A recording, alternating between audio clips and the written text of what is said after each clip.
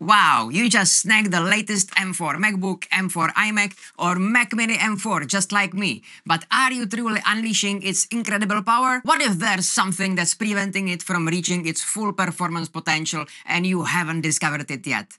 Whether you are a musician, audio or video producer, or just an everyday user, it's exciting to stay in the loop with your system. Imagine discovering that an app is gobbling up an excessive amount of memory, blocking you from the smooth experience or top-notch performance you crave for your production. Or perhaps your M4 Mac is slowing down because of overheating, but you have no idea about it at all. Just like your car has a variety of meters and gauges to keep you informed, why not have the same on your Mac? Let's take control and make the most of your Apple Mac. And if you are ready for even more excitement, stick to the end to discover how you can win one of three full licenses for the best system monitoring app for Apple Mac and macOS I have waiting just for you in an upcoming giveaway.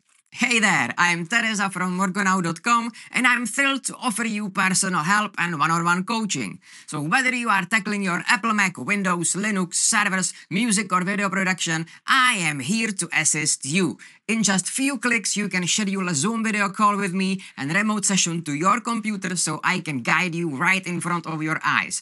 Don't miss out on this amazing limited offer. Check out the link in this video description. Before I reveal my personal champion, let me excitedly showcase some other fantastic options out there that you might absolutely love. There are many ways how to monitor the internal workings of your macOS.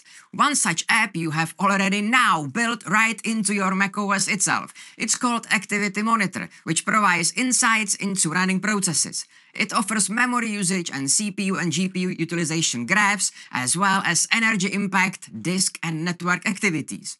Additionally, it's useful to force quit processes that hang or quit them when necessary. However, it's worth noting that the activity monitor is resource intensive and takes up a lot of real estate on your screen. Some nerdy folks absolutely love monitoring system activity right in the terminal. Because it needs some configuring, I'm super excited to dive into this topic in one of my upcoming videos. So hit that subscribe button below and turn all the notifications so you won't miss any of the exciting details. But you might be wondering, aren't there some even better ways to monitor your macOS? Great question. The answer is resounding yes. And guess what? I can't wait to show you. Some years ago, I used to monitor my Macs using the Menumeters app. It was great and free, but it had limited options and was no longer being maintained for modern Apple Silicon Macs. So that's out of the question, but it's still great for use with some older Macs with older macOS versions. Next, we have the Stats app. It looks better, it's also free and offers most of the monitoring options you'll ever want. Your M4 Mac Mini will love it, however, it's quite CPU intensive. So just using this app can significantly reduce your Mac's performance, which is a downside for me. And finally, here we have the winner, iStat Menus. iStat Menus is unmatched in efficiency and is the most CPU-friendly system monitoring app out there.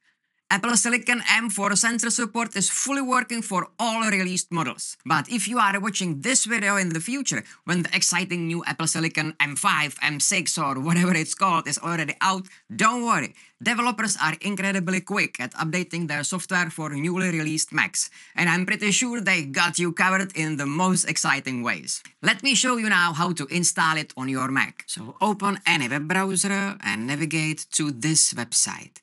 And here in the middle you have download button. So click on download and save it anywhere you want. Fine. Now just double click on it to unzip it and move it to your applications folder. Now in your applications folder, just double click on it to start it. Yes, we want to open. And now the fun begins. We don't need to care about any of these because we change it later. So for now, click on next. I prefer to modify everything to my liking, so I will just click on next, next, next, next, next. Don't care. We need to install the helper. Yes, so let's install it. Type in your administrator password. And here we go. So this is the main window of the iStat menus. On the bottom, I personally always change the update frequency to fast, so I have in real time the best possible results. So now you can see in your top bar several new icons. I also prefer to change it to compact spacing so it's a little bit closer to each other so it doesn't take so much of the real estate in your menu bar. Fine. So here the dot indicates what modules are currently active. So let's disable all of these and start from scratch. So if you want to be getting notifications from this application, for example, when your CPU is overheating or whatever, you need to request the permission. So open system settings and allow notifications. Perfect. And I recommend here in the options, click on the allow button. We can close system settings and here we go. I like the alerts notification, but if you want to change it to banners, no problem. Here you have it. I always prefer to start with the CPU and GPU as the first option in my menu bar. So on top, I will just enable that. If you will click on it, you will see detailed activities of all of these, including history in time. But now we have only the CPU, but I will click on the plus button here and add also my GPU options. So I want, first of all, I want history of my CPU in time. So this is the percentage of CPU usage currently now, but here is my history. The same I would like to have for my GPU. So let's click on the GPU percentage and also let's add my GPU history. If you will click here on any of these options, it's going to show you some additional options how to colorize it or fonts. On the GPU side, I prefer display processor instead of memory. The same applies to my history. Perfect. Now, second option which I always enable on all my Macs is the memory statistics. So let's enable it. But instead of just nothing telling 44%, I want to change it. So I will click on the plus and I want to see exactly how much used and free memory I have. So now I can just get rid of this one just by dragging it to the trash.